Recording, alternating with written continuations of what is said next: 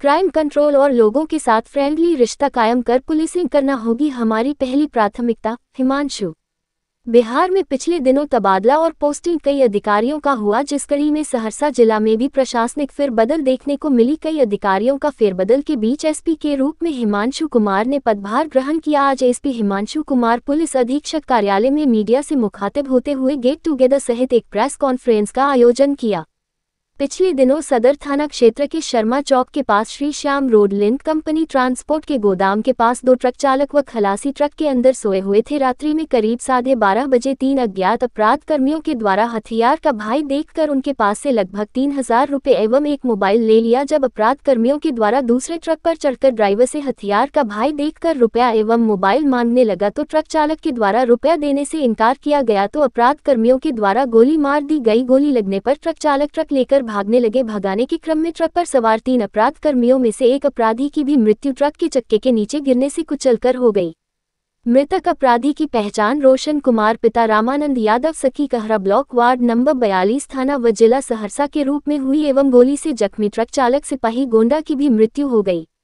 उक्त घटना के संबंध में ट्रक के खलासी सुनील चौहान ने फ़र्ज़ बयान के आधार पर सदर थाना कान संख्या नवासी बटा चौबीस दिनांक 29 जनवरी 2024 धारा तीन सौ चौरानवे three O two three fourth भाष शून्य दस शून्य वी शून्य एवं सत्ताईस आर्म्स एक्ट के दर्ज किया गया इस कांड के सफल उद्वेदन हेतु पुलिस अधीक्षक सहरसा के निर्देशन में अनुमंडल पुलिस पदाधिकारी सदर के नेतृत्व में थाना अध्यक्ष सदर जिला सूचना इकाई एवं उन अधिकारियों को शामिल कर एक छापेमारी टीम का गठन किया गया। गठित टीम के द्वारा तकनीकी एवं मानवीय और सूचना के आधार पर घटना में शामिल दो अन्य प्राप्त कर्मियों को गिरफ़्तार किया गया। गिरफ़्तार दोनों अभियुक्तों के द्वारा घटना में अपनी संलिप्त स्वीकार किया एवं उनकी निस्सिंदही पर घटना में प्रयुक्त हथियार एवं गोली बरामद किया। गिरफ़्तार दोनों अभियुक्तों को न्यायिक हिरासत में भेजा जा रहा है।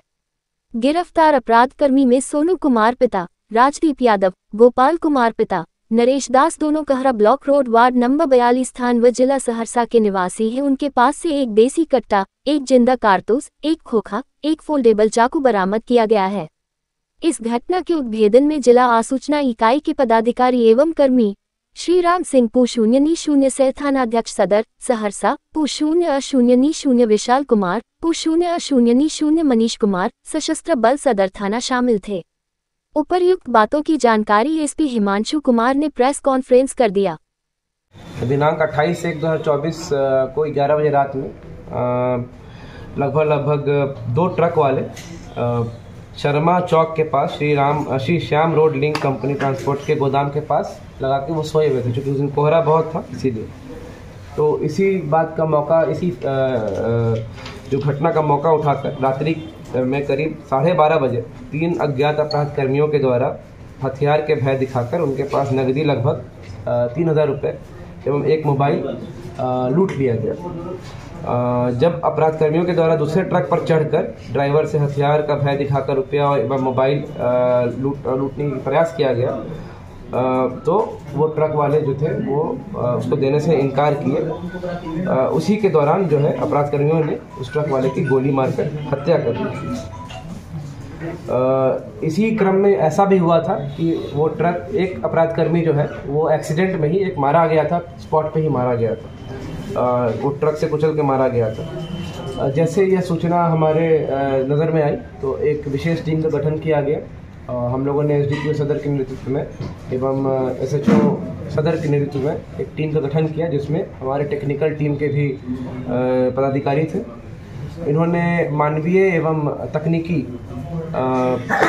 अनुसंधान करते हुए इस संवेदनशील घटना को आगे बढ़ाया और इन्होंने फिर जो व्यक्ति जो ट्रक से कुचला गया था, उसकी पहचान की और उसी से उनके जो गैंग है, उसके बारे में हम लोगों को पता चला।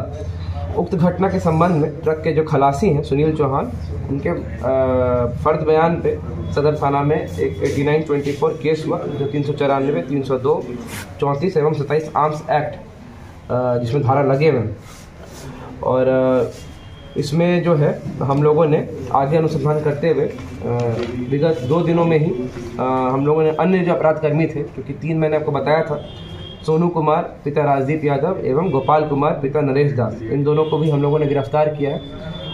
जो तीसरा जो मरा था, उसका जो साथी था। इस घटना में जो प्रयोग किया हुआ जो आर्म्स था, कट्टा, उसको भी हम लोगों ने बरामद किया और साथ में कट्टे के साथ हम लोगों को एक कारतूस भी बरामद हुआ है।